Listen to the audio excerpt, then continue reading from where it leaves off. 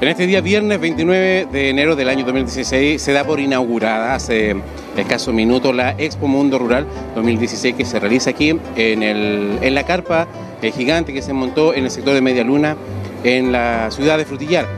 Grandes expositores, gran cantidad de expositores, ¿cierto? Las autoridades ya mencionan em, la gran afluencia de público que están teniendo en estos momentos, todos muy contentos por esta nueva versión de esta exposición que es la segunda más grande de nuestro país. Vamos a hacer un recorrido por los locales, por los puestos eh, y ver lo que se está ofreciendo, lo que se está comercializando y mostrando desde no solo de la región, sino de gran parte del país para el mundo.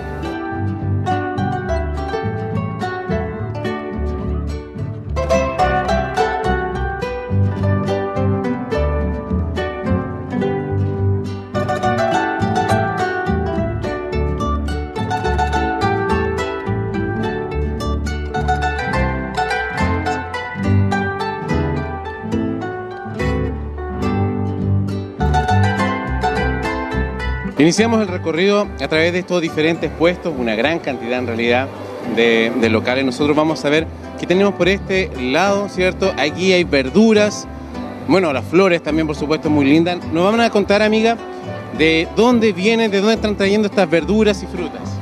Comuna de Puyehue, de Entre Lagos. Venimos, traemos de invernadero, trabajamos en huerta, tenemos cilantro, lechuga, pepino, tomate, poroto, de todo. Rico y fresquito.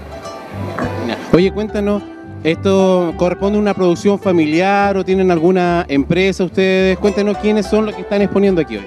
Trabajamos a través de convenio Intaprodemo y, y, cada una tiene su invernadero y trabajamos de forma personal, pero venimos aquí a, esta feria. Oye, ¿hay alguno de, alguno de sus productos de los que se sientan más orgullosas, los que exhiben con mayor valor ustedes? Eh, no sé, tenemos tomatitos, pepinos, cositas, todo natural de allá de nuestra zona en su sector. Muchas gracias, mía. Que tengan mucha suerte en esta expo. Vamos a avanzar un poquito más acá. Oye, la, yo necesito que alguien me aclare la diferencia entre una, entre una cereza y una guinda. A ver, ¿qué es lo que están vendiendo ustedes? ¿Cereza o guinda? Yo siempre he tenido la duda. Son cerezas. Cereza de Purranque, soy de Purranque. ¿De Purranque? Mira, le tengo calafates. Ah, lo, vamos a ver. Oye, eh, ¿tú me puedes despejar esa duda o no? ¿Cereza guinda? Sí, porque la guinda, la, guinda eh, la, puedes hacer guindado. Y la cereza solamente en conserva y es más ácida la guinda. Perfecto. Oye, ¿me querían mostrar acá? Calafates. Los calafates. Oye, eh, no muy conocidos los calafates. No, no, son muy conocidos acá, porque son de acá del sur. Pero es una, una fruta, un Una fruta, un berry natural, como el maqui entre parientes el maqui, arándano, pero... pero arbusto como sí, de ah, no, árbol, arbusto, un arbusto, como, el, como la planta de, de los arándanos, una cosa así. Oye, gran variedad de productos tienen ustedes aquí. Cuéntanos cuál es el producto estrella, de saber como el calafate, la novedad que ustedes traen, ¿o no? o algunos quesos. Por lo menos mis quesos, eso es lo fuerte, pero mis hortalizas, todo eso. Ya, queso purranquino entonces. De purranquí con especies, tengo con, con orégano, morrón y así. Y eso es lo más fuerte en todas las partes que voy donde me invitan. Perfecto. Mm. Oye, ¿esos pepinos que tienen allá son como especiales para conserva, no? No, estos son para hacer los... ¿Ay, cómo se llaman estos? Que uno lo pone en vinagre. y los, sí, escabeche. Y los otros son de, ensalada. Pero son más, por ejemplo, esos que están ahí. Buenísimo. Esos son, ¿Ese tipo de tomate que tienen ustedes, cómo se llama? Yo traje, por ejemplo, uno que se llama Alaska, que es muy rico para la ensalada. Sí, para poder ensalada. Sí. Tengan éxito. Ya, gracias igual. Vamos a tomar matecito por acá. Chiquillas, ¿cómo están? Muy bien, muchas gracias. ¿cuál es el puesto de Es el, el puesto del convenio Demo. Sí. Eh, tú mencionabas que son de precio. Sí, de precio, de, soy...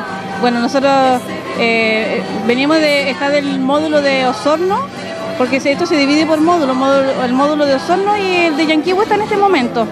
Y sí, pues feliz, de, estar en el, la, expo, la experiencia del expo, de la Expo Mundo Rural, porque de verdad se abren muchas puertas a, las emprendedoras como nosotras. estado antes en este...? No, nunca es la primera vez que nosotras participamos en, participamos en ¿Cómo este se generó esta participación? ¿Fue por invitación? ¿Ustedes postularon? No, este, nos invitó, bueno, a través de los directivos provinciales eh, se, nos mencionó, o sea, nosotros visitamos la Expo Mundo solo por visitar. El año pasado vine como presidente del módulo eh, a visitar y de ahí conversando con los directivos de la provincia estuvimos eh, y ellos de, y sí escucharon y en este minuto nosotras estamos participando gracias a que ellos escucharon la voz de las mujeres campesinas. Genial, pues estamos entonces ahí con unas amigas recién ¿cierto? Casi coterráneas, nosotros nos sentimos casi de también, pero cuéntanos qué producto tú nos quieres mostrar, algún producto que venga a ver, yo tenemos mermelada de mosqueta de mora y las papas, está el perejil, todo lo que hay es de, es de, es de la zona de, de, de Fresia, es de, la comuna de los invernaderos, porque nosotros trabajamos en programas de, de cultivos bajo plástico, con artesanía, con mermeladas, con conservas y todas esas cosas que ustedes pueden ver. Eh, tenemos este, en este momento la oportunidad de poder eh, que, otras personas nos conozcan, que vean nuestro trabajo, que vean los logros que tenemos nosotros como mujeres campesinas. Bien, pues amiga, la felicitamos. Muchas gracias, que les vaya bonito. Continuamos el recorrido, acá tenemos otro tipo de productos, Isla Gourmet es la marca al parecer. Amiga, cuéntanos cuáles son los productos que ustedes están ofreciendo. Bueno, mi nombre es Marcela, soy de Chiloé, de la comuna de Alcahue y lo que traigo acaso es una línea de productos desde la galleta artesanal, mermeladas con frutos de Chiloé, mermeladas sin azúcar y pastas de ajo chilote. Eso es, con sabores tradicionales de allá. Desde la Isla Grande, cuéntanos eh, qué importancia le dan ustedes a esta exposición, a la Expo Mundo Rural de Frutillar. Bueno, para nosotros yo ya llevo como una cuarta versión de Expo Mundo, estaba en, en Santiago y acá, y para nosotros es una vitrina enorme y, valorable porque aparte de juntarnos con muchos emprendedores de alta calidad, eh, te da una vitrina para los clientes, para las personas, para que conozcan los productos y sepan lo que se está haciendo. Es una vitrina gigante para nosotros, importante. Te quería preguntar, ¿han tenido la oportunidad de concretar algún negocio a través de esta exposición? No, por ahora no, pero siempre hay clientes que quieren a lo mejor y y en el camino se va concretando algo. O sea, eso siempre está como ahí. Exactamente. Oye, aquí vemos unos clientes, permiso, clientes. Miel parece, ¿no? Manjar, manjar. Amigos, ¿se tentaron con el manjar de acá? Manjar de Chiloé, manjar con almendras de Chiloé. Manjar con almendras. Perdón, con avellanas. Con avellanas. Oye, ¿no te gustaron aquí o te...? Pedir a, bueno, una amiga está ahí concretando su negocio, pero le vamos a preguntar por mientras, amiga, para que nos escuche. Eh, ¿Había tenido la oportunidad de estar antes acá en Frutillar, en esta, en esta expo? Cuéntenos cómo se gestionó su participación. Eh, no, primera vez que asisto a, a una expo. Eh, postulé y quedé seleccionada. Sí. Cuéntanos, este manjar casero, em, ¿de dónde nació la idea? ¿Tenían experiencia haciendo manjar? ¿Quisieron innovar con algunos sabores? ¿Cuál es la historia detrás de, este manjar secreto de Chiloé? No, experiencia no tenía. Yo soy egresada de Prodemo y ahí a través de Prodemo tomamos un curso y, em, y aprendí a hacer el manjar clásico. Y después innové con nueces y con avellana y caramelo. Así que desde ahí fue naciendo la idea, la señora Jimena Pardo, ella me apoyó harto en que hiciera el manjar porque eh, le gustó mucho. Perfecto. Sí. Oye, eh, ¿cuál es tu producto estrella aquí, el, el, que tú muestras con más orgullo a lo mejor? Porque bueno, desde que partiste con el Majar, el clásico, ¿cierto? Me imagino que vienen muchas ideas. ¿Hay algo todavía que tienes en mente y que quieres concretar, algún otro producto? Claro que sí, siempre hay que estar esto innovando, porque si, no, si nos quedamos, ejemplo, en un solo producto, no, no es la gracia, hay que ir innovando. El producto estrella es el manjar avellana, sí, porque la avellana es totalmente orgánica todavía, todavía entonces hay que rescatarla. ¿La avellana de allá mismo, de Chile? Sí, de ella mismo. Ahí tengo mi proveedora, que la trabaja porque yo no la sé hacer el tratamiento. Sí. Queremos que nos cuenten eh, acerca de estos productos que ustedes están trayendo, de dónde vienen. Nosotros venimos del sector de Puerto Chalupa de la comuna Puyehue. Sí, y lo especializamos en la confección de productos hechos en lana de oveja. Y principalmente ropa de casa, pieceras de cama, cojines, bajadas de cama, senderos de mesa. Eso es lo que elaboramos principalmente. Igual tenemos otras cositas como el fieltro, eh,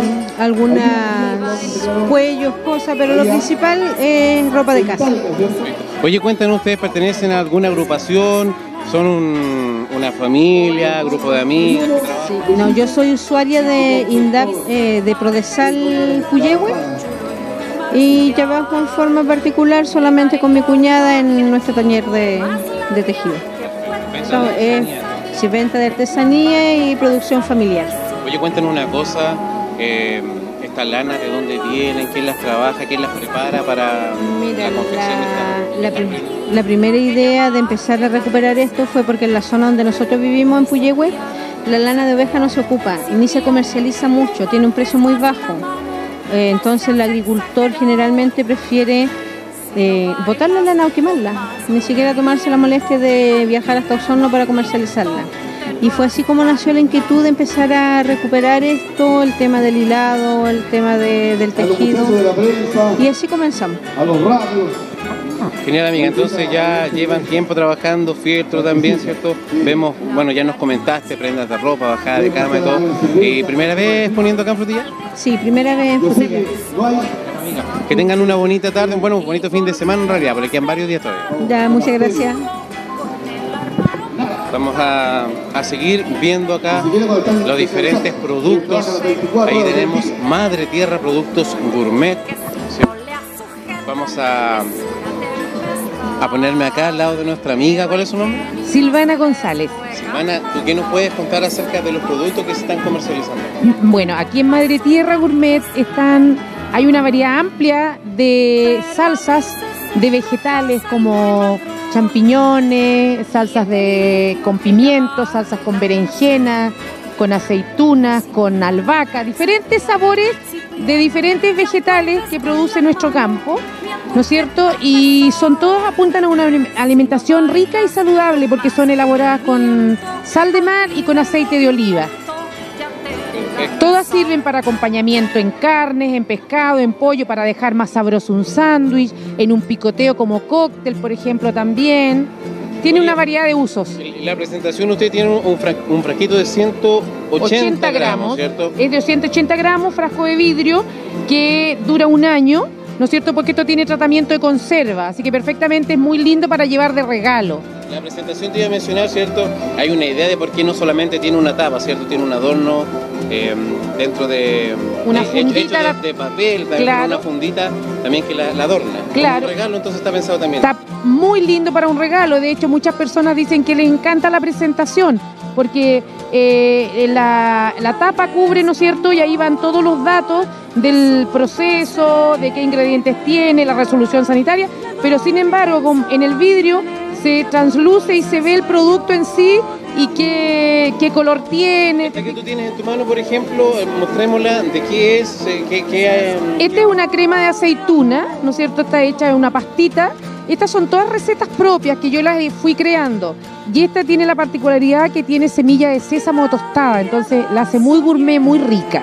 Lo mismo el paté de champiñones. El paté de champiñones tiene tres variedades de eh, setas. Tiene portobelo, tiene el champiñón ocho y tiene champiñón París. ¿No es cierto? Que lo hace muy rico, muy saludable además también.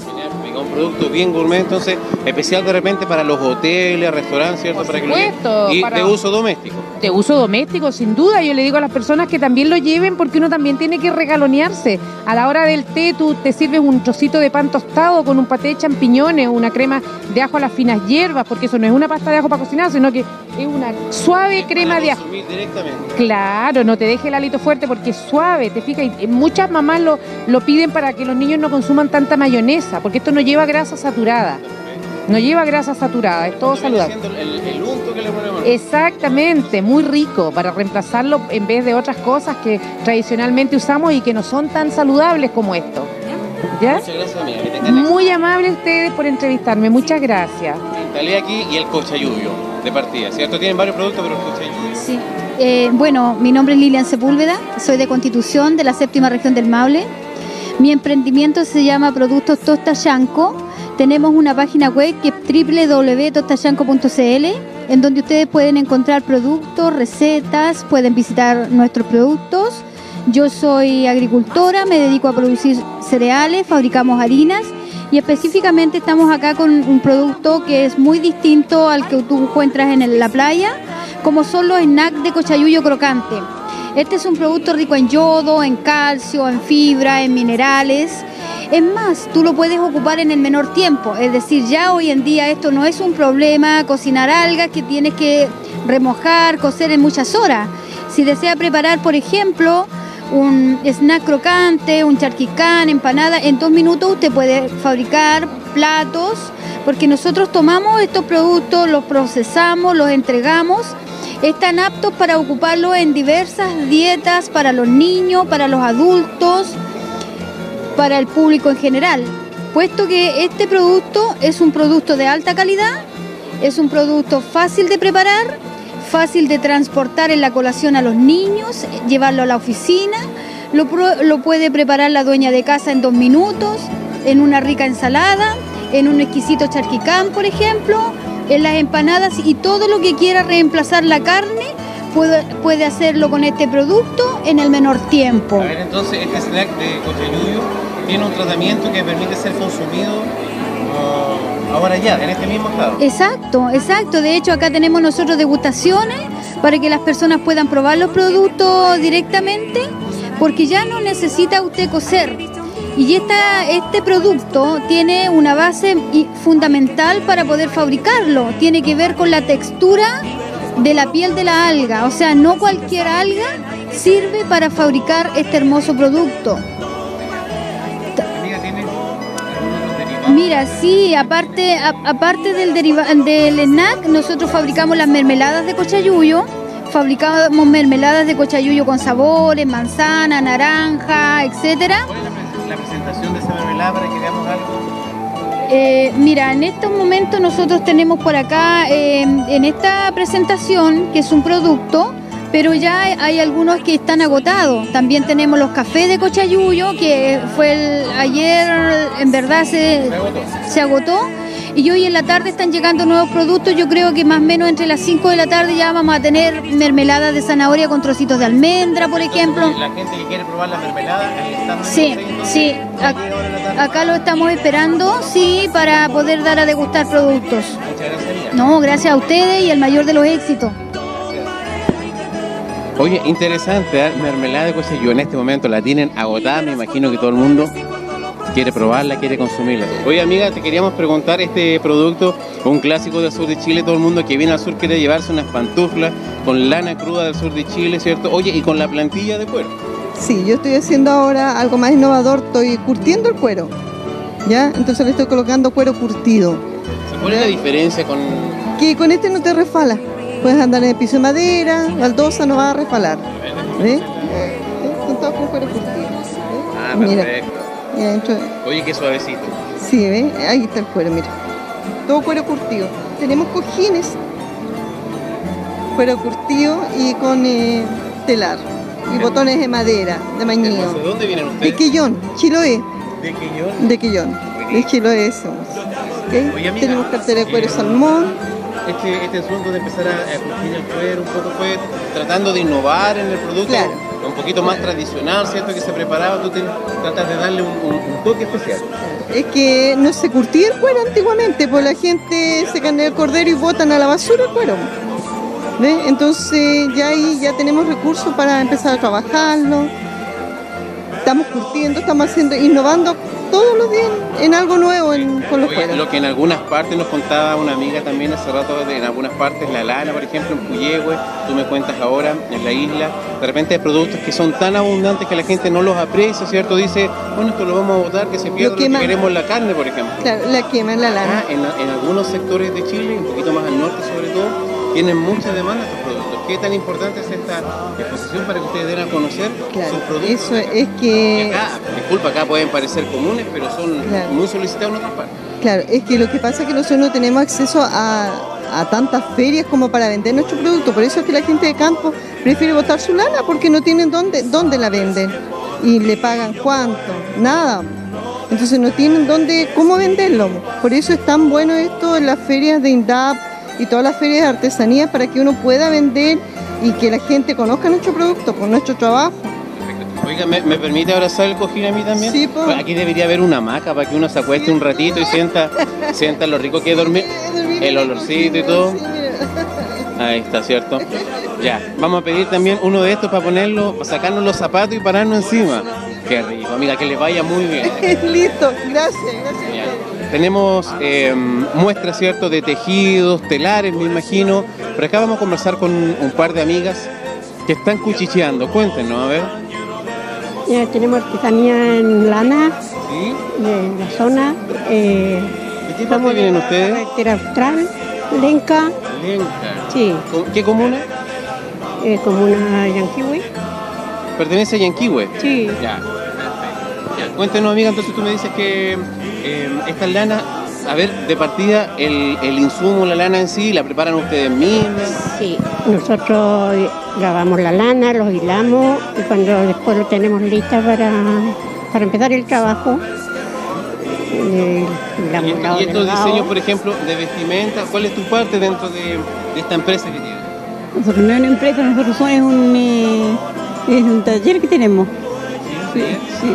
Se llama Raíces de Lenca. ¿Y cómo deciden, por ejemplo, oye, quiero que hagamos cuando, que hagamos teléfono, es de acuerdo a lo que más venden, por ejemplo? Sí, la, ca- la frazada se venden, los chuapinos, la baja de cama, eh, ¿Cuánto sabanilla. cuesta una baja de cama en lana? En lana Esta está costando 50 y tanto.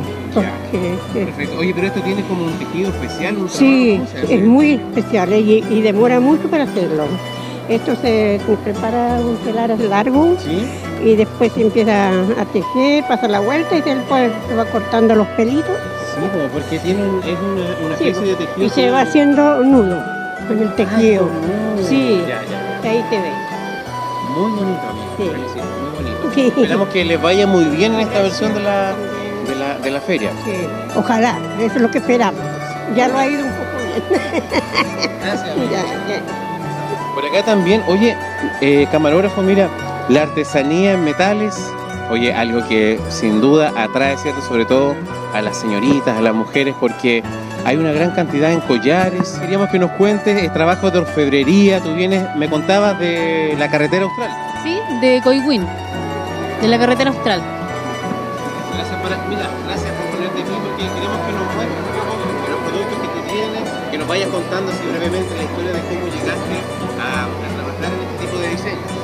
Bueno, mira esto, la orfebrería es una- un rubro bien bonito, bien creativo, porque puedes usar materiales reciclados. Eh, por ejemplo, yo uso la alpaca, las cucharas antiguas esas de alpaca, las preparo, ¿cierto? Esto se usa al fuego para trabajar la orfebrería. Qué artículo está hecho, por ejemplo, de esas cucharas. Esto. Esto, por ejemplo, está hecho con las cucharas antiguas de, de alpaca. ¿Y qué tratamiento tú le das ahí? Bueno, con el fuego es el que ablanda el, el material. Pues entonces Pero yo... lo tienes que fundir o lo ablandas nomás No, para. ablandarlo solamente. La plata sí la tengo que fundir, pero el cobre no. El cobre solamente uso el fuego para ablandarlo y después uso el laminador que es para estirar el metal y dejar una lámina para que yo de ahí empiece a trabajar un diseño. Sí. Así que Un producto del que te sientas orgullosa, que quieras mostrar, a la gente vea la calidad de. este, mira. Precioso. Cuéntanos, entonces, ¿está hecho completamente en cobre? Es todo hecho de cobre y la soldadura que usamos para soldar las piezas es plata. Aquí se usa solamente soldadura de plata. No usamos estaño, que generalmente igual usan el estaño, pero después se rompe. Una, una pieza mucho más fina. Y única, claro, y única también. Esa sería una y después esto, mira. Esta es una máscara hecha con aluminio de una olla de estas de aluminio viejas que se usan en los patios para darle de comer a los animales. Entonces a nosotros la agarramos y la hicimos estas máscaras. Pero este trabajo eh, es una parte, digamos, de la orfebrería, puede ser, porque esto es cincelado, se llama esto.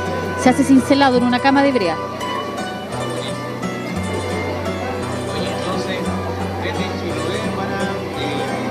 para Frutillar y para el mundo en realidad, porque están, viniendo de todas partes, ¿cierto? Sí, sí. Lugares, no solamente lugareños, ¿cierto? No solamente gente de Frutillar, sino muchas partes viene gente a hacer negocios, Sí. ¿cierto? Turistas también. Turistas ¿Tienen andan. oportunidad, me imagino, de conocer. Sí, sí, bastante turista. Anda bastante turista, sí, él es el que más aprecia, digamos, pero aprecia el, el trabajo en cobre.